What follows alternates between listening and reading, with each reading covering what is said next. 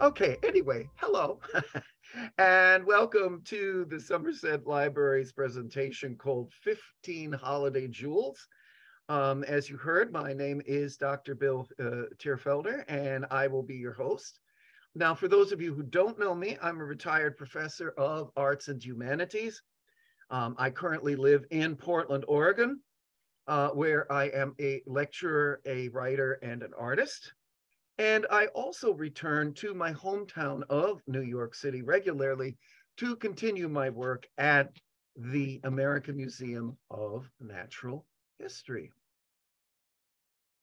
Now, because we, let me just go to there, here we go. Now, because we can't cover everything about today's topic in one presentation, uh, I invite you to take a deeper dive on my website, which uh, Daryl has already put into the chat, but it is makingwings.net. And you see there deeper dive number 25. Um, let me explain. So let's go to my website. And you should be seeing it now. If you go to, uh, this is my homepage. Um, and uh, I always like to say there are three pictures of me, me, myself, and I. Uh, and if you go to the upper right corner, there's a hamburger menu. And you can go and look at my library schedule, some of the topics I speak of, examples of my writing, my art. You can even look at my resume. But for our purposes, um, you see all these things called deeper programs that I give. I create a web page so that you can do more work. You can do a deeper dive. So in this case, it's number 25. 15 holiday jewels. And if you click onto that, and there are a few more, um, and what you're going to find are web resources that you can look up on the different writers we're going to be talking about today, as well as others that we don't have time for. Uh, I give a, a, selection of recommended readings. Um, and then uh, pictures of some of the people we're talking about, as well as some of the stories. And um, again, I don't want to make people dizzy here. I just want to show you what I have at the end. Yes, um, for all of the stories and the honorable mentions, um, there's a, a, well, not the honorable mentions, but for the stories we're focusing on, I actually have links to either the story or something about the story. So um, please feel free uh, to take advantage of that. Okay, so as you saw, one of the things that you, you saw was the uh, uh, recommended media. Um, here are some of the things that I recommend. Um, there's an ind independently published quartet of books uh, that's available on uh, Amazon. Uh, they contain several of the stories we're looking at today. So uh, uh, volume one of A Timeless Treasury of Christmas Tales. And again, this is all on the website if you want to copy this down, the titles. Um, it had this has O. o. Henry's The Gift of the Magi, um, and the complete novella by Washington Irving called Old Christmas. Uh, volume two uh, has uh, the delightful novella by L. Frank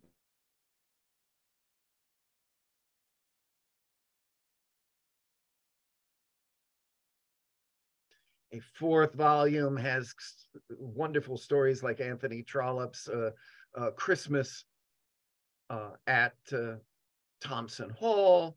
Um, so wonderful, wonderful collection. There's Truman Capote's uh, Christmas Memory that I certainly recommend. Certainly everybody knows uh, a Dickens Christmas Carol, but he also wrote, a lot of people don't realize that he also wrote four other Christmas novels. So it ain't just a Christmas carol. There are other goodies there. Um, and we're actually going to be looking at one of those a little later on. How about Dylan Thomas's A Child's Christmas in Wales? Um, so there are many, many books out there. But what is today about? Well, what I'd like to do is to share with you uh, 15 wonderful holiday stories and a few honorable mentions that you might not know or that maybe you haven't read yet. And I'd love to give you some ideas for holiday entertainment that, that has nothing to do with a Christmas Carol or Charlie Brown Christmas or the Nutcracker. Nothing wrong with those classics, but sometimes we have a hankering for something that's uh, a little bit uh, different. So I'm going to begin with a couple disclaimers. First off, I'm absolutely sure that there are wonderful European, South American, Asian, and African holiday stories. But to keep uh, this project simple, I stuck to kind of a top 15 or a top 20 list, um, list from a variety of sources, all of which you can find on my website, by the way. Newspapers, magazines, literary scholars, uh, not the least of which Oprah Winfrey, um, so, in fairness, while there might be many jewels that are left out, there are also a, a great deal of you know wonderful stuff in some of these uh, books. Um, and second, you'll note that I'm presenting uh, each author and his or her story alphabetically. I didn't want to risk playing favorites.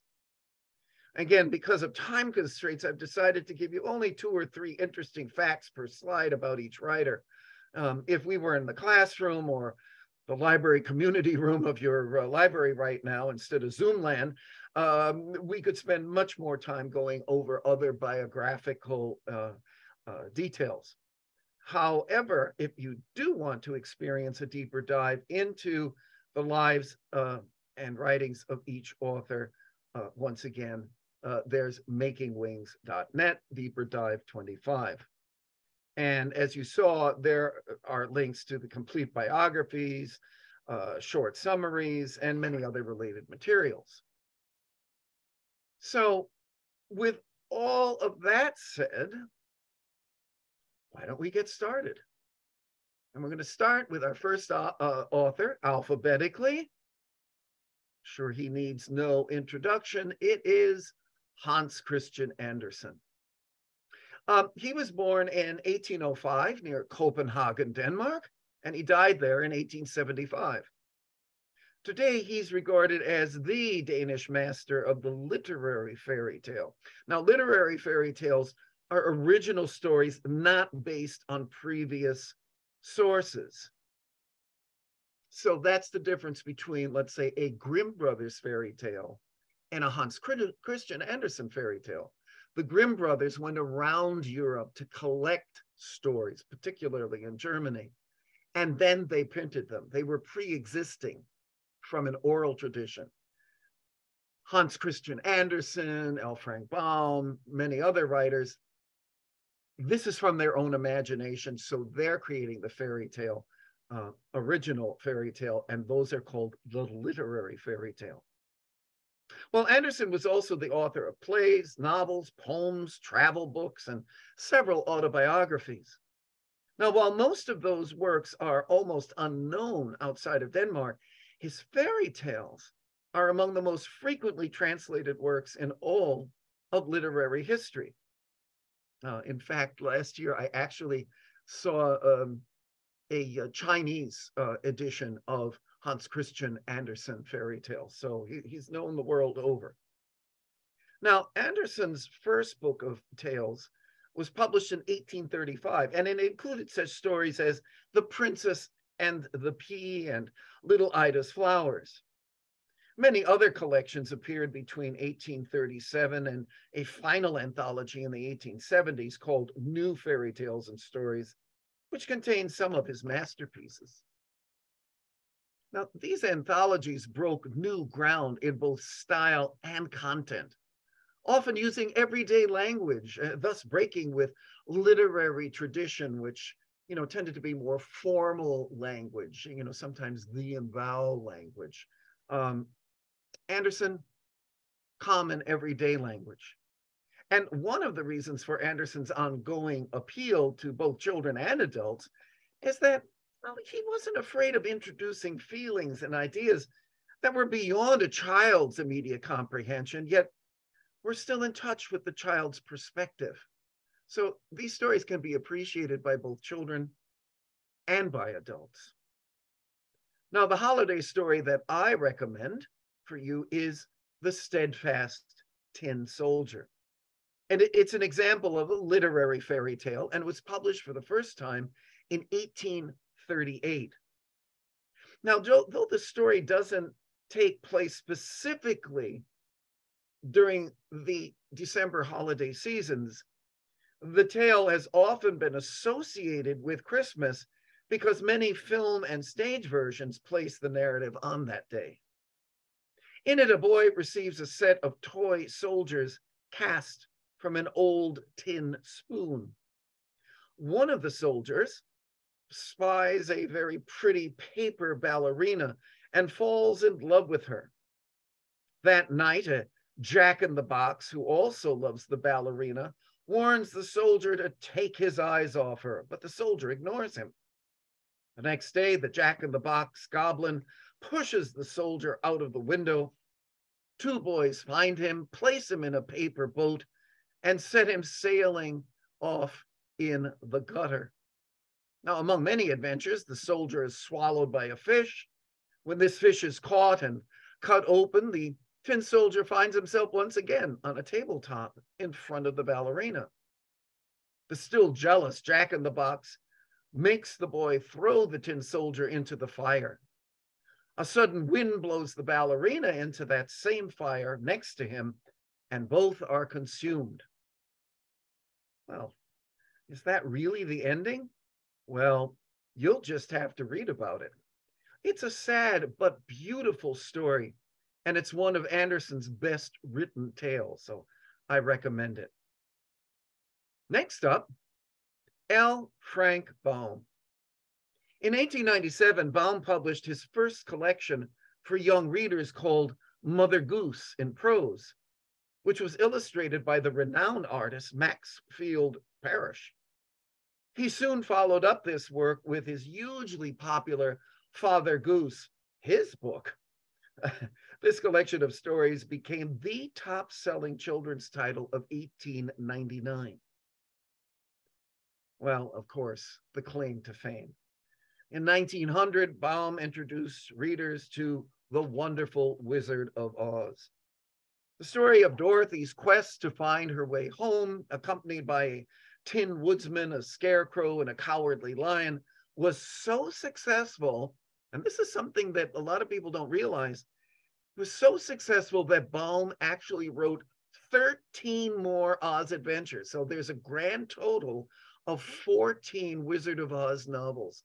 Most everybody only knows the first one, but there are 13 others. Um, take a gander at them. They're really quite wonderful. And two years after the original Oz novel was published, Baum produced a musical version of the book. It opened in Chicago and went on to run for two years on Broadway. It then successfully toured the United States until 1911. Well, Baum reimagined Santa Claus in 1902 with The Life and Adventures of Santa Claus.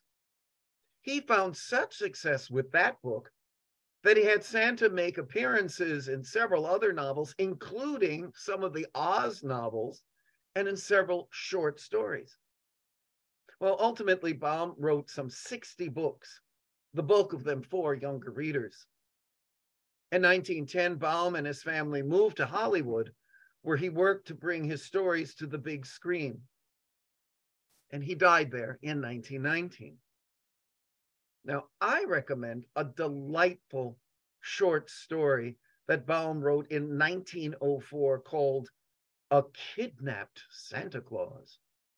The story deals with Santa Claus's kidnapping by five pagan demons who live in a cave.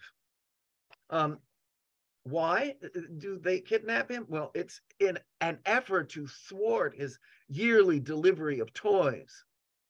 Uh, the, the, demons, uh, who are called selfishness, envy, hatred, malice, and a rather ambiguous demon called repentance, resent that Santa's influence keeps children from visiting their cave.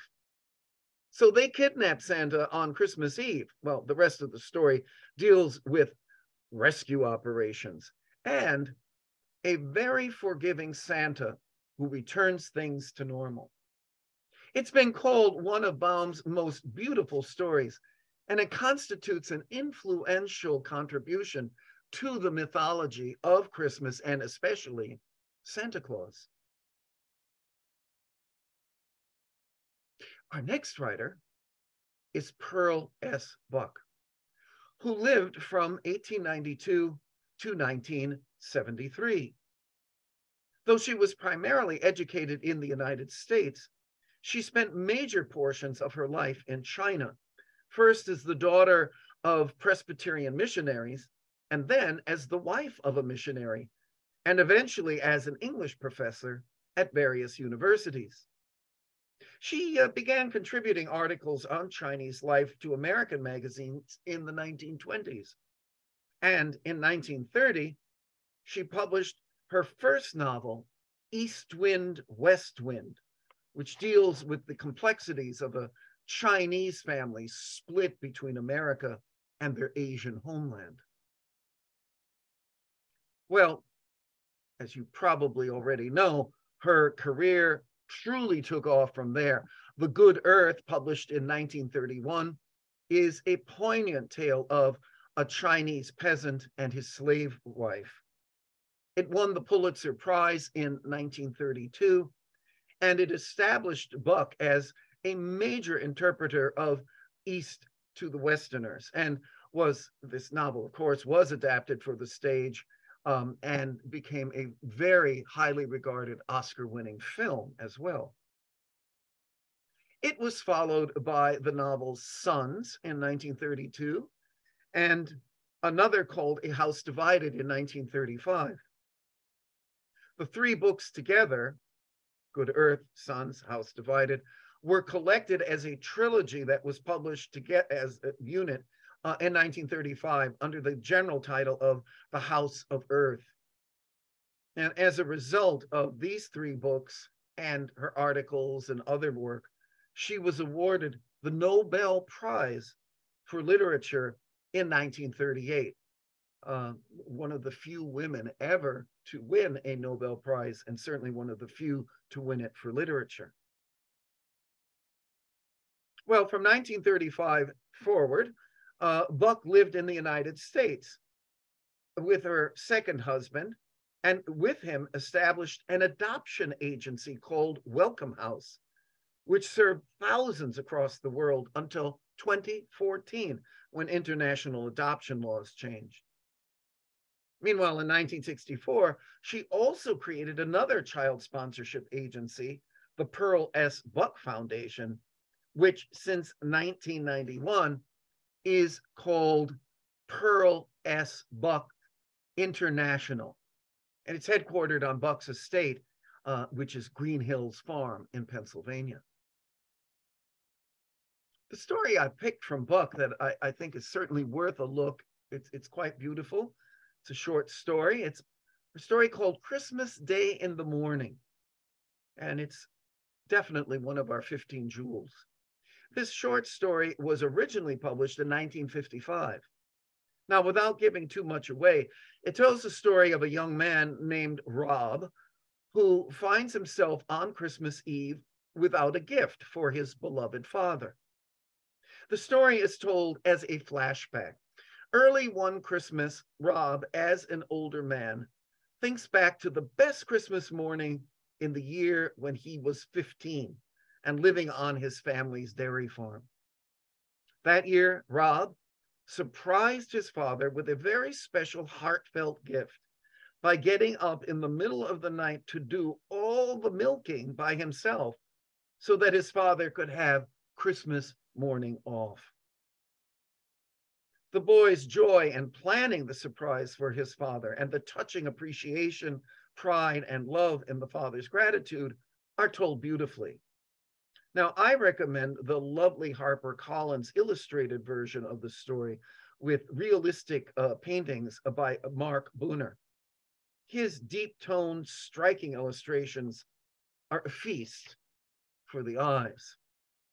And again, this is a story I would probably say intended for younger readers. So um, for any of us who are of a certain age, this is a great read for your grandkids or for young children, but it's a beautiful story for us adults too.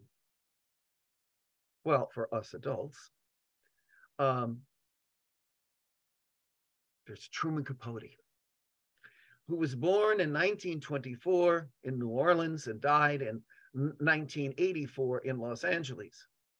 Now, because his parents divorced when he was young, he spent his childhood with various elderly relatives in small towns in Louisiana and Alabama. He attended private schools and eventually joined his mother and stepfather, Joseph Capote, at Millbrook, Connecticut, where he completed his education. Well, he achieved early literary recognition in 1945 when his haunting short story Miriam was published in Mademoiselle magazine. His first published novel, Other Voices, Other Rooms, in 1948, was highly acclaimed. But one of Capote's most popular works, Breakfast at Tiffany's, was first uh, published in Esquire magazine in 1958. The 1961 film version with Audrey Hepburn is an Oscar winning classic, uh, despite what is now seen as an offensive portrayal of the heroine's Japanese landlord that aside, it was a classic movie and uh, it introduced the idea of the little black dress.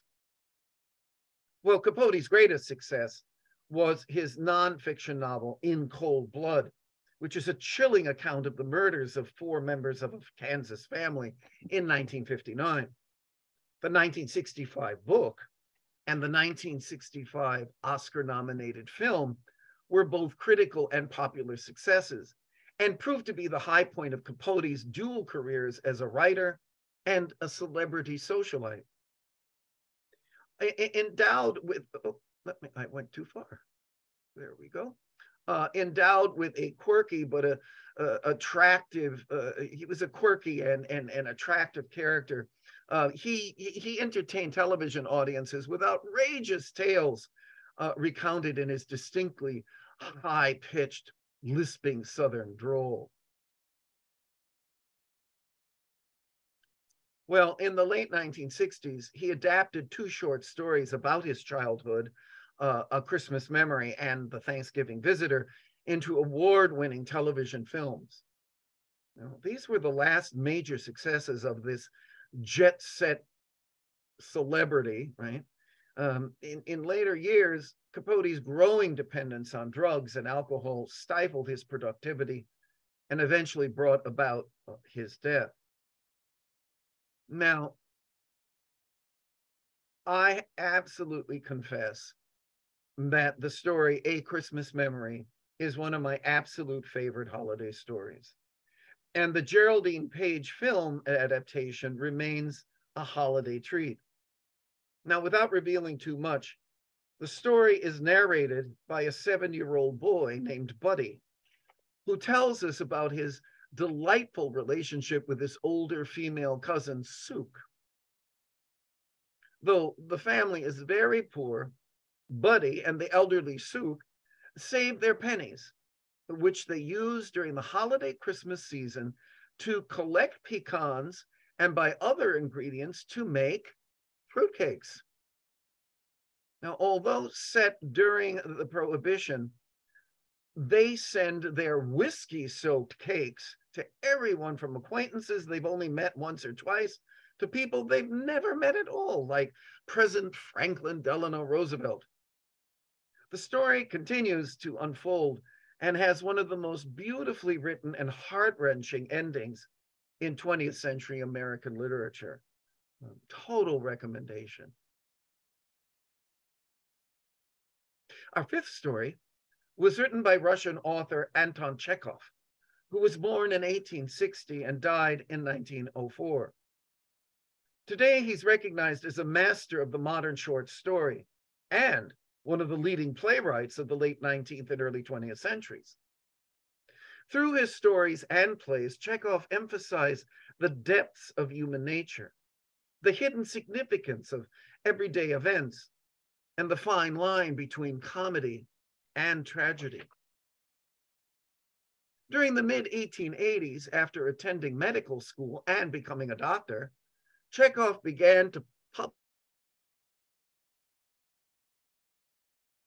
But there was also this life as a writer. Chekhov wrote many of his greatest stories during the last decade of his all too short life, including Ward Number Six and The Lady with the Dog.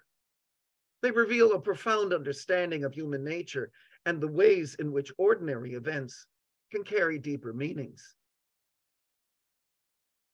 In his plays of those same final years, Chekhov collaborated with Konstantin Stanislavski and the Moscow Art Theater to produce his masterpieces, uh, The Seagull, Uncle Vanya, The Three Sisters, and of course, The Cherry Orchard.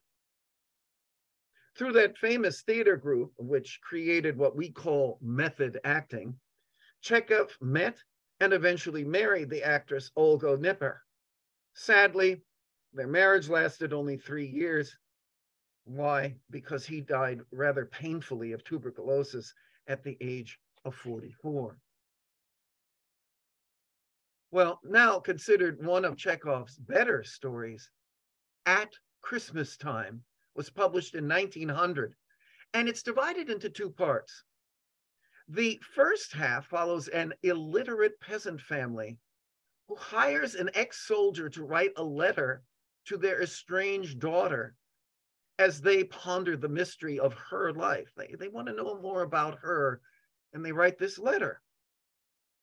Well, the second part involves the letter being delivered to the daughter by her abusive husband. And we learned what has transpired in her life. Chekhov's fiery social critique is presented as he contrasts the warmth and love of hard village life with the coldness of upper class luxury. Now, moving along, we meet Charles Dickens. How could I not include Dickens, right? Who was born in Portsmouth, England, England in, on February 7th of 1812. When he was 12 years old, his father, John, who had a difficult time managing money and was constantly in debt, was put into debtor's prison. And because of this, Charles was withdrawn from school and forced to work in a shoe polish factory to help support the family. This experience left profound psychological and sociological marks on Charles.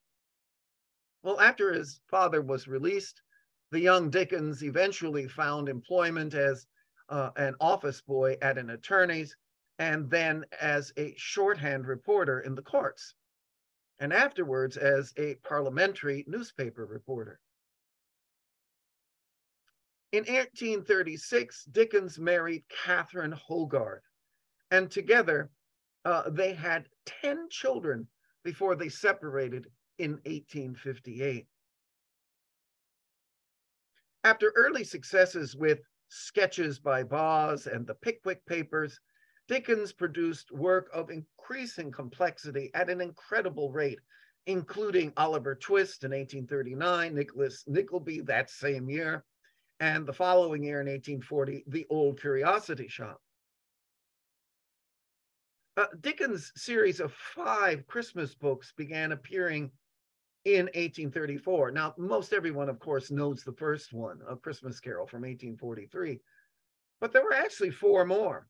The Chimes from 1844, The Cricket on the Hearth in 1845, The Battle of Life, 1846, and The Haunted Man in 1848. Well, Dickens followed their commercial success with novels including uh, David uh, Copperfield, um, Bleak House, and A Tale of Two Cities. And of course, his masterpiece in 1861, Great Expectations. Uh, by the way, uh, I recently was uh, put on, uh, this is a little sidebar here, uh, was put on the um, uh, track to, to, for this information Barbara Klinghoffer, wrote a her own version, if you will, a updated version of David Copperfield called Demon Copperhead, uh, which uh, is getting wonderful reviews. So just pass that on to you. Well, meanwhile, back to Dickens. Uh, by 1856, his popularity had allowed him to buy Gad's Hill Place, an estate he had admired since childhood, and you see that on your screen. In 1858, Dickens began uh, a series of public readings, which became instantly popular. In all, Dickens performed giving readings. And in that year of 1858, after a long period of difficulties, his he separated from his wife. And it was also around that time that Dickens became involved in an affair with a young actress named Ellen Ternan. Now, the exact nature of their relationship is unclear, but it was clearly central to Dickens' personal and professional life. In the closing years of his life, Dickens made his already declining health much worse by giving so many readings, writing, reading. He was a total workaholic. And it was during one of his readings in 1869 he collapsed, showing symptoms of a stroke. He retreated to that mansion, Gad's Hill, and he began working on what would be his last novel, The Mystery of Edwin Drood. Unfortunately, he never finished it. He died at home in June of 1870 and was buried in the Poets' Corner of Westminster Abbey. Uh, by the way, for those of you who are theater buffs, you may be aware that The Mystery of Edwin Drood uh, in the 1980s uh, was made into a Broadway musical, which actually won the Tony Award. Um, and part of the fun of that musical was at the very ending, um, all the characters lined up on the stage with big numbers over their head, and uh, the audience decided who done it, who murdered Edwin Drood. You know, it, lots of fun. Well, the story that I picked, again, it's one of those Christmas novels, and it's uh, again, everybody knows a Christmas carol, but here's one that I think you might really enjoy. It's called The Cricket on the Hearth, a fairy tale of home. Okay. Like all five of Dickens' Christmas books, it was published in book form, not as a serial. All of his other novels were, were serialized in newspapers and magazines before they were put into hard print. The five Christmas novels were all went, you know, direct to DVD, as they say. It went directly to a published hardcover book. And this book sold briskly. And there were no fewer than 17 stage productions of The Cricket on the Hearth opening during the Christmas season of 1845 when it was originally published, with one production opening on the same day as the book's release. And believe it or not, for years, it was actually more popular in its stage incarnations than a Christmas Carol. Kind of find that hard to believe, right? But this was actually the more popular Christmas book. Now, in this wonderful story, John Peerybingle, don't you love Dickens' names? John Peerybingle, a messenger carrier, lives with his young wife, Dot, their baby boy, and their nanny, Tilly. A cricket chirps on the hearth and acts as a guardian angel to the family, hence the cricket on the hearth. He's the guardian angel. Well, one day a mysterious stranger appears and takes up lodging for a few days. And the life of the Peerybingles, then after that, intersects with that of Caleb Plummer, a poor toy maker who has a blind daughter, Bertha, and a son, Edward, who traveled to South America and is thought to be dead. And more than that, I won't tell you. Uh, it's a wonderful story and a delightful change from the ubiquitous Christmas Carol. Now, our next author, Sir Arthur Conan Doyle, like Chekhov, was a doctor. Uh, he was born in 1859 in Edinburgh, Scotland, uh, and died in 1930 in Sussex, England. Uh, while he was a medical student in Edinburgh, Conan Doyle was deeply impressed by the observation skills of his uh, one of his professors, Dr. Joseph Bell. Bell ended up becoming the model for Sherlock Holmes, who first appeared in the novel A Study in Scarlet, published in 1887. Conan Doyle's early interest in both science and paranormal activity were the complex and diametrically opposing beliefs he struggled with throughout his life. Here was the scientist doctor, but who was also interested in, you know, ESP, ghosts, fairies, elves, paranormal, all kinds of paranormal uh, paranormal phenomena. Well, Doyle continued writing Sherlock Holmes adventures through 1926. His stories were collected into several volumes, and he wrote three more Sherlock novels, most famously The Hound of the Baskervilles. But Doyle also produced a tale of 14th century chivalry called The White Company in 1891, and a masterwork of science fiction called The Lost World in 1912. Uh, Doyle was knighted, that's why he's Sir Arthur Conan Doyle. He was knighted in 1902 for his work with a field hospital in South Africa and other services during the South African Boer War. Now, Conan Doyle himself viewed his most important efforts to be his campaign in support of spiritualism, the religion and psychic research subject based upon the belief that spirits of the departed continue to exist in the hereafter and can be contacted by those who are still living. Uh, Doyle died in his home in Sussex, and on July the 13th, 1930, thousands of people filled London's Royal Albert Hall for a seance during which a spiritualist medium claimed to have contacted Sir Arthur from beyond.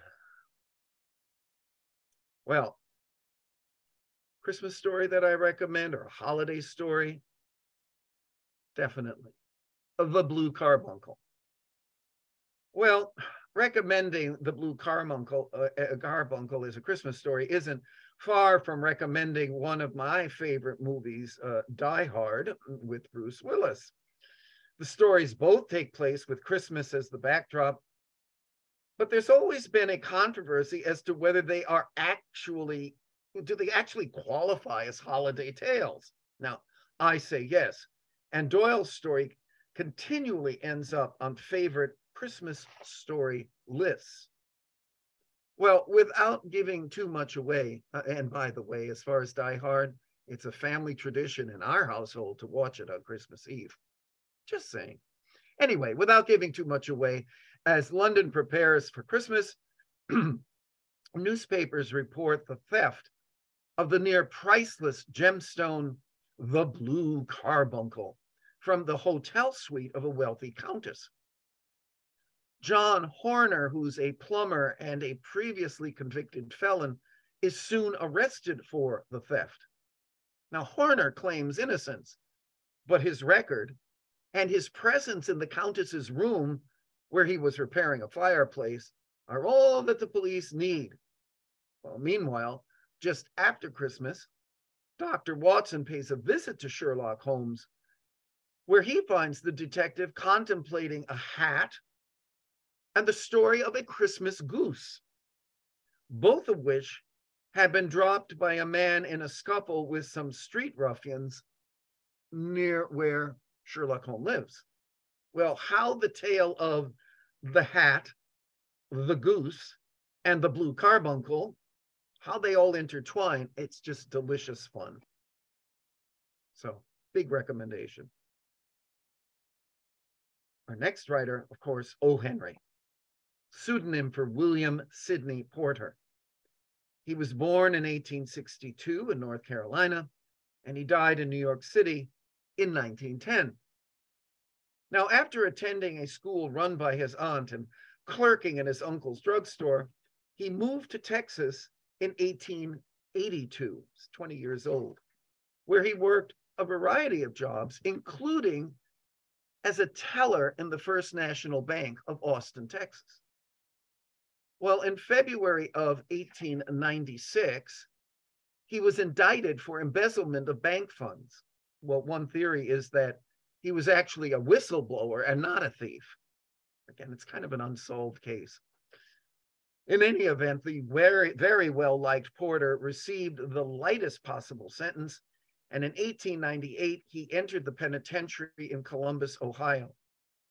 His five year sentence was shortened for good behavior. Now, while he was a night druggist there in the prison hospital, he wrote stories to earn money to support his daughter Margaret after his wife had died. His stories were immediately popular, and when he emerged from prison, William Porter had become O. Henry and uh, would become famous as the writer of over 600 short stories. And there are many there are many theories as to why he picked the name O. Henry. Have fun Googling that. Well, from December of 1903 to January of 1906, he produced a story every single week for the New York Sunday World, as well as other publications. His hardcover story collections, Cabbages and Kings from 1904 and The Four Million from 1906, and its famous story, The Gift of the Magi, and The Trimmed Lamp from 1907 were all immediate successes. Between 1907 and his death in 1910, seven other collections appeared in rapid succession.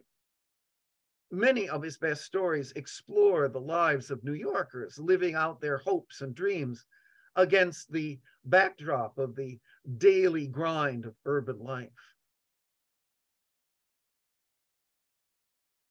Well, despite his popularity, O. Henry's final years were marred by ill health, desperate financial struggles, alcoholism, and an unhappy second marriage.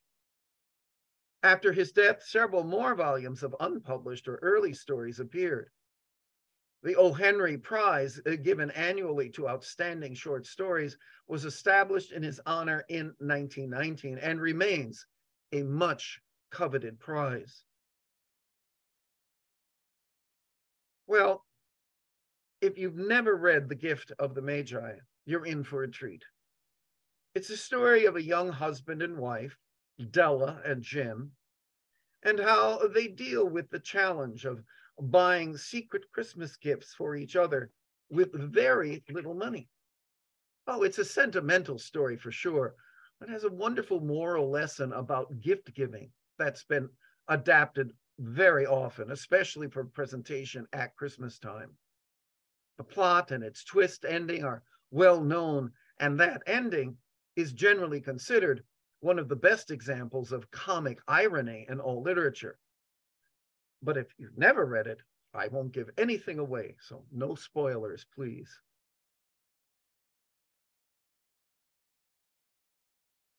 Next up, E.T.A. Hoffmann, Ernest Theodor Amadeus, yes, named after the composer, uh, Mozart, Hoffmann.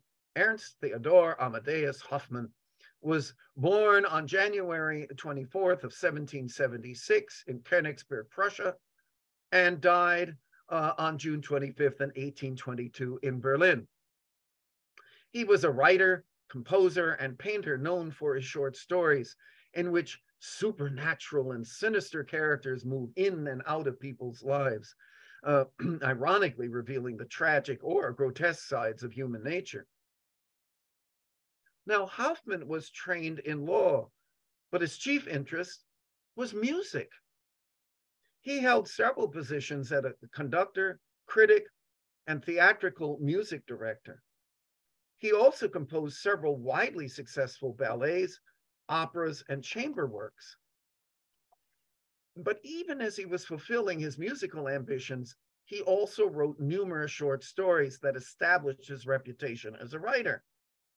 The idea. He's a Renaissance man. He's a lawyer. He's a composer. He's a writer. like something. And through it all, he did support himself as a lawyer in Berlin. He succumbed to the effects of paralytic syphilis in 1822 at the age of 46. I would say, by the way, in terms of his music, um, if you go to YouTube and you just type in E.T.A. Hoffmann, you can find many examples of selections from uh, his chamber music, his orchestral work, and even some arias from his opera. He's actually quite a wonderful composer. Now, in his stories, the weird and the mysterious atmosphere of his strange characters intermingles with an exact and realistic narrative style. His use of fantasy, ranging from fanciful fairy tales to highly suggestive stories of the macabre and supernatural, served as inspiration to several operatic composers, uh, including most famously Jacques Offenbach, who transformed three of Hoffmann's stories into the opera The Tales of Hoffmann, in which Hoffmann himself is the central figure. Indeed, next to stage adaptations of Dickens' Christmas Carol, Tchaikovsky's ballet, based on the novella The Nutcracker and the Mouse King, is the most ubiquitous Christmas theater piece during the holidays. Now, the original story concerns a girl named Marie who receives a nutcracker on Christmas Eve that looks like a soldier. Now, she's called Clara in the ballet and in other adaptations. Well, that night, Marie witnesses a battle between her dolls under the leadership of the Nutcracker and dozens of mice whose king has seven heads. Well, the following day, Marie finds out that the Nutcracker was once a young man who was cursed by the Mouse Queen. Further battles between the Nutcracker and the Mouse King take place before the rodents are defeated and the curse is finally broken. And as they say, everyone lives happily ever after. Now, if you only know the ballet, and it's wonderful, do yourself, though, a favor and read the original story by Hoffmann. It's really quite wonderful. Our 10th writer is Washington Irving, who was born in New York City in 1783 and died on his estate in Tarrytown, New York in 1859.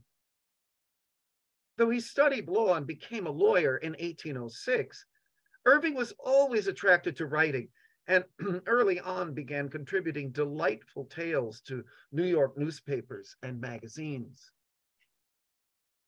One of those early successes was History of New York by Diedrich Knickerbocker, published in 1809.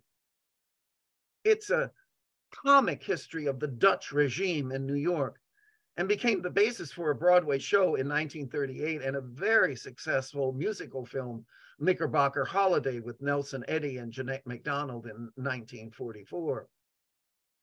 In 1815, during a business trip to England to look after the interests of his brother's hardware importing firm, Irving met the great writer Sir Walter Scott, who encouraged him to continue his writing.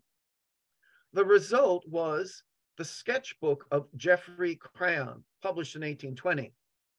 Most of the book's 30 stories concern Irving's impressions of England, but six chapters deal with American subjects. And of those, the tales The Legend of Sleepy Hollow and Rip Van Winkle have been called the first American short stories. The tremendous sketch of the uh, uh success of the sketchbook in both England and the United States assured Irving that he could live through his writing. Now, early in 1826, he accepted an invitation to the American Embassy in Spain, where he continued to write both fiction and biography. But after a 17 year absence in Europe, Irving returned to New York in 1832, and except for four years, when he was ambassador to Spain uh, for the United States between 1842 and 1846, his life at his home, Sunnyside, in Tarrytown, New York, on the Hudson River, where he continued to write. As far as a holiday book, well, Irving's Old Christmas was published in book form in 1876 after his death It contains the five Christmas stories found in his 1820 sketchbook, where he portrayed an idealized uh, old fashioned Christmas uh, uh, as it would happen in a quaint English manner. Now, these delightful stories depict English uh, Christmas festivities uh, that he experienced while he was staying in England. Now, the book was widely popular, and today Irving is, is credited with helping shape the Christmas holiday in America, much the same way Dickens did in England with his 1843 novella, A Christmas Carol.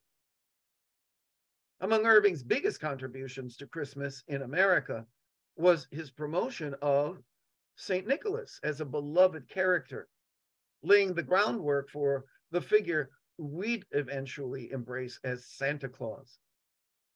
Any one of the five stories in Old Christmas make for a delightful holiday read. Now, next up is a writer you might not be familiar with. Selma Lagerlöf was born in Sweden in 1858 and died on the family estate there in 1940. She was primarily a novelist, and in 1909, she became the first woman to win the Nobel Prize for Literature. So Pearl S. Buck won it, but Lagerfeld was the first. Indeed, it was her novels, such as Gösta Berling's, uh, that played an important part in the Swedish Romantic revival of the 1890s. The period between 1894 and 1907 was very productive. A short story collection, Tales of a Manor, is one of her finest works. And Jerusalem, published between 1901 and 1902, established her as the foremost Swedish novelist. Other notable works were two delightful geography books for children The Wonderful Adventures of Nils in 1906 and The Further Adventures of Nils in 1907. Well, World War I disturbed her deeply. And for many years, she wrote very little. And then, in a great comeback, she produced the Varmland trilogy between 1925 and 1928, the books for which she is most known today among adult readers. Well, what about the holiday story? Well, Following an inspirational visit to the Holy Land in 1904, she published Christ Legends, her most well known book for young readers, which has been loved by generations of children, primarily in Europe. One of those stories is The Holy Night, a Christmas themed tale. It tells the story uh, of Lagerlöf at five years old who experienced great sadness when her grandmother passed away. While reminiscing about the old woman, she recalls a story that the grandmother used to tell her about the night that Jesus was born. In it, a poor man wanders around the village asking people for a single coal to light the fire in his home. But he keeps getting met with rejection until he runs into an otherwise surly shepherd who finds compassion in his heart to help, especially after seeing the state of the man's home, wife, and children. Uh, it's a beautifully written story. Now, one of the greatest writers of the 20th century was Isaac Bashevis Singer. He was born in 1903 and passed at the venerable age of 87 in 1991. He was a Polish born American Jewish writer who wrote and published first in Yiddish and later translated himself into English with the help of editors and collaborators. In 1978, Singer received the Nobel Prize for Literature. He's the only author writing in Yiddish ever to receive that honor. Now, for those who are not familiar, uh, Yiddish is a Germanic language historically spoken primarily by Ashkenazi Jews.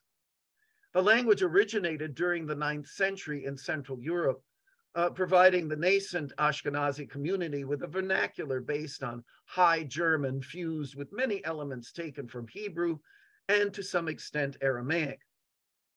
Most varieties of Yiddish include elements of Slavic languages, and the vocabulary contains traces of Romance languages too. Traditional Yiddish is primarily written in the Hebrew alphabet, but now is also widely published using European alphabet. Singer's popular success began with the publication of his first collection, Gimpel the Fool and Other Stories in 1957, and his novel, The Magician of Lublin, uh, in 1960. Over the next two decades, his popularity uh, grew as he published his stories in magazines such as Harper's and The New Yorker. He also began writing children's books, including uh, Zlateh the Goat and other stories in 1966, illustrated by Maurice Sendak. He lectured regularly and continued to produce new stories, novels, and collections in both Yiddish and English, including The Spinoza of Market Street uh, in 1963, A Friend of Kafka and Other Stories from 70, Enemies, A Love Story, 1972, and uh, from 18, excuse me, 1978.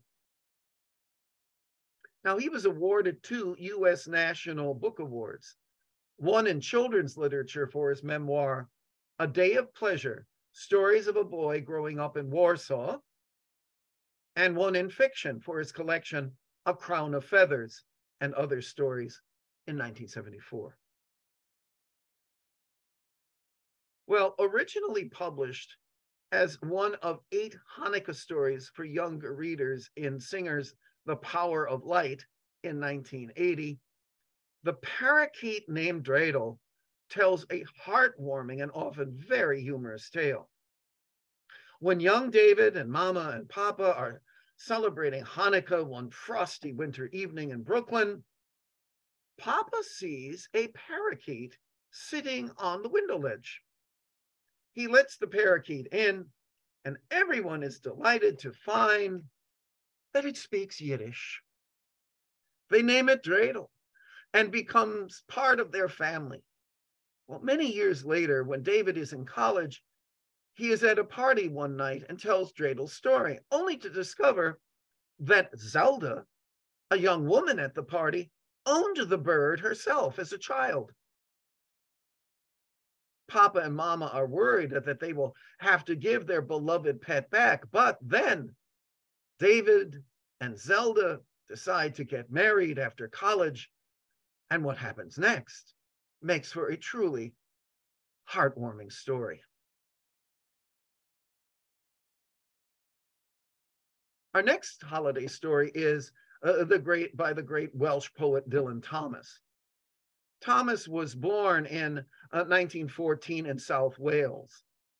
Thomas dropped out of school at 16 to become a junior reporter for the South Wales Daily Post. By December of 1932, he left his job at the Post and concentrated on his poetry full time. It was during uh, this time in his late teens that Thomas wrote more than half of his collected poems, just a teenager. In 1934, when Thomas was 20, he moved to London won the Poets Corner Book Prize, and published his first book, 18 Poems, to great acclaim. In 1936, uh, Thomas met the dancer Caitlin McNamara in a, uh, a London pub. They engaged in a passionate affair and married in 1937. Well, between 1945 and 1949, he wrote, narrated, or assisted with over 100 BBC radio broadcasts, including one show that became the basis for his famous radio drama, Under Milkwood, several, which was published several years later. In 1947, Thomas took his family to Italy, where in Florence he wrote In Country Sleep and Other Poems, which includes his most famous poem, do not go gentle into that good night. Later that year, Thomas began writing movie scripts for Gainsborough Film Studio. Well, in 1950, Thomas went on the first of four tours of the United States and did much to popularize the poetry reading as a new medium for the art. His readings were both famous oh, and notorious. He was theatrical, engaged in roaring public disputes, and he read his work with tremendous depth of feeling. A few days after his last reading in 1953, he collapsed in the Chelsea Hotel in New York after a long drinking bout. He died in St. Vincent's Hospital in New York City at the age of 39, but was buried in Wales. Now, the story that I certainly recommend here is A Child's Christmas in Wales, written in 1952 and then recorded in Steinway Hall in New York in February of that year. It, it's a masterpiece of language and remembrance. It's an anecdotal reminiscence of a once upon a time Christmas told from the viewpoint of a young boy. As with uh, his poetry, this short story doesn't have a tight narrative structure, but instead uses poignantly descriptive passages to create a sense of nostalgia. If uh, you love beautiful, artfully crafted language, then, well, I not only recommend this, but I also highly recommend Thomas's reading of his story, which is available on YouTube among other sources. And I give the link on my website. Um, it's just so beautiful to hear it in that beautiful Welsh accent of his. Our penultimate writer is Henry Van Dyke, who was born in 1852 and died in 1933. Now, in addition to being a writer, he was also an educator, a diplomat, and a Presbyterian clergyman. As an educator, he served as professor of English literature at Princeton University between 1899 and 1923. So he had a very long career at Princeton. President Woodrow Wilson, who was a friend and former classmate at Princeton, appointed Van Dyke as ambassador to the Netherlands and Luxembourg in 1913. Now, although inexperienced as a diplomat, Van Dyke uh, conducted himself with great skill maintaining the rights of Americans in Europe during World War I and organizing work for their relief. Van Dyke returned to the United States where he continued his ministry and his writing and was elected to the American Academy of Arts and Letters, among many other honors. And Van Dyke died in April of 1933 and is buried in the cemetery at Princeton.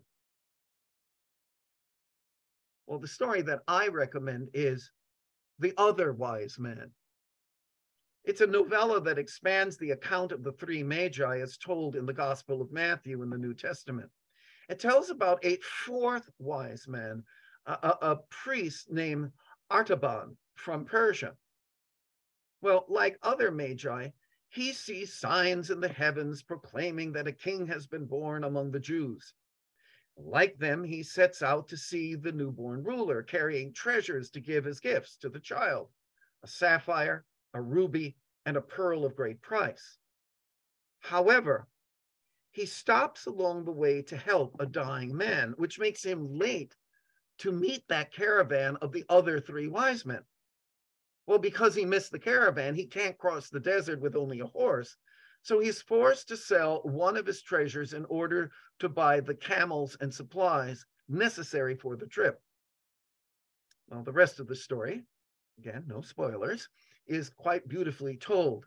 And it's been adapted many times as a television movie, a stage play, it's even an opera. But here's a fun piece of trivia. A large star sapphire, the star of Artaban, was named after the main character of this story and is currently found in the Smithsonian National Museum of Natural History. Well, writer number 15 is Oscar Wilde.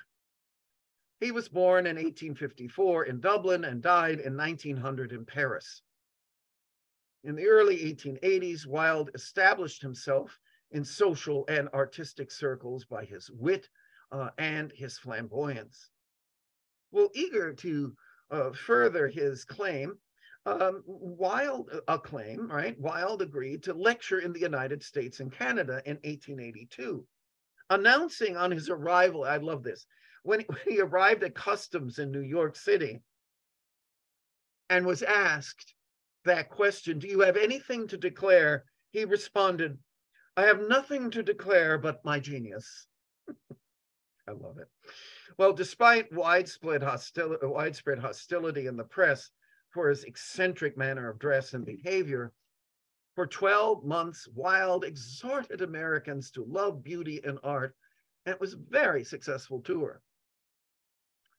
Well, when he returned to England, uh, Wilde married Constance Lloyd in 1884. And over the next two years, two boys, Cyril and Vyvyan, were born. But meanwhile, Wilde became a magazine editor and published The Happy Prince and Other Tales in 1888. Again, it's a masterpiece of fairy tale and allegory. Again, a good example of a literary fairy tale. In the final decade of his life, Wilde wrote and published nearly all of his major work, uh, including his only novel, The Picture of Dorian Gray, and two collections of stories, Lord Arthur Savile's Crime and uh, The House of, excuse me, A House of Pomegranates. But Wilde's greatest successes, of course, were his society comedies, his plays, right? Lady Windermere's Fan, A Woman of No Importance, An Ideal Husband, and probably most famously, The Importance of Being Earnest. All were produced to wild acclaim.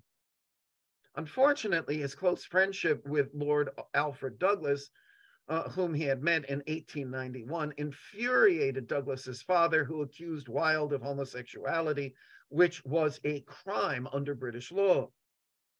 Wilde sued for criminal libel, but after Wilde's case collapsed, he was found guilty and sentenced to two years of hard labor. Upon his release, Wilde spent his last three years in France in bankruptcy, living on the kindness of his friends. Sadly, he died suddenly in 1900 of meningitis. Well, story that I recommend here is The Selfish Giant and it's one of five stories that was published in The Happy Prince and Other Tales. In The Selfish Giant, a giant owns a beautiful garden. He takes offense at children who play there after school, and he builds a wall to keep them out. Well, the garden falls into perpetual winter. One day, the giant awakes and discovers that spring has returned to the garden why? Because the children have found a way in through a gap in the wall. He sees the error of his ways and resolves to destroy the wall. However, when he emerges from his castle, all the children run away except for one boy who climbs a tree. And the identity of that boy becomes the plot twist of the story and provides the connection to Christmas. And I won't say more. This is truly a beautifully written narrative, one for adults and young readers to savor. Well, okay, before we hear from you, um, I'd like to end with a shout out for some honorable mentions uh, that appear in several holiday best lists. Now, of course, it's all subject subjective, but I agree that these are terrific. And once again, I present them alphabetical order by the author's name. There's Louisa May Alcott's A Christmas Dream and How It Came to Be True. It's truly a pleasant read. Maya Angelou wrote a wonderful holiday poem for the lighting of the National Christmas tree in 1905. Amazing Peace is a beautiful book of verse. Well, then, of course, there's Raymond Briggs' classic tale, The Snowman. The 19th century blind Irish writer Frances Browne's collection, Granny's Wonderful Chair, includes a beautiful holiday story titled The Christmas Cuckoo. you might want to try the American novelist Willa Cather's 1896 tale, The Burglar's Christmas. The Grimm brothers created an unusually warm hearted story called The Elves and the Shoemaker, which was originally published in 1812. Wonderful story. James Joyce penned a beautifully written tale of love and loss during the holidays called The Dead published as part of his collection, The Dubliners. And I highly recommend a beautiful film version of this story with Anjelica Huston. Uh, it, it's quite beautiful. Well, Robert L. May's much adapted tale, Rudolph the Red-Nosed Reindeer. Here's a bit of trivia you might not know. It was originally published in 1939 as a holiday book for Montgomery Ward shoppers. Uh, uh, May worked at Montgomery Ward and uh, he was asked to write this story, um, illustrated it, and um, it was handed out to people who shopped at the store. Well, the rest, as we know, is history. And then there's Lucy Maud Montgomery's Christmas at Red Butte. Well, if you enjoy her Green Gables books, uh, you might enjoy Red Butte. In 1902, the same year she published Peter Rabbit, Beatrix Potter also produced a charming holiday tale called The Tailor, uh, the yes, The Tailor of Gloucester. The 19th century English novelist, Sir Anthony Trollope, wrote a lovely Victorian period uh, tale called Christmas at Thompson Hall. Uh, the tiniest jewel of the day is a two-page letter by Samuel Clemens, aka Mark Twain, uh, written to his daughter Susie. That's right up there with Francis Church's editorial to Virginia O'Hanlon. Uh, is there a Santa Claus with that famous line? Yes, Virginia, there is a Santa Claus. So you know you have a choice there. You could read Twain's a letter from Santa Claus, or you can read uh, Francis Church's "Is There a Santa Claus?" And last but not least on the honorable mention list uh, is a wonderful story for Kwanzaa called Little Rabbit's Kwanzaa by uh, the very renowned American folklorist, storyteller, and uh, uh, storyteller and children's book writer Donna Washington. It's an absolutely delightful and heartwarming tale of a little rabbit who seeks to find something special for his sick grandmother during Karamu, which is the Kwanzaa feast. Now, once again, if you want to learn more about these writers and their stories, uh, again, please visit my website, makingwings.net, and go to Deeper Dive number 15. And there again, I have not only the material on the 15 writers, but also on these uh, honorable mentions.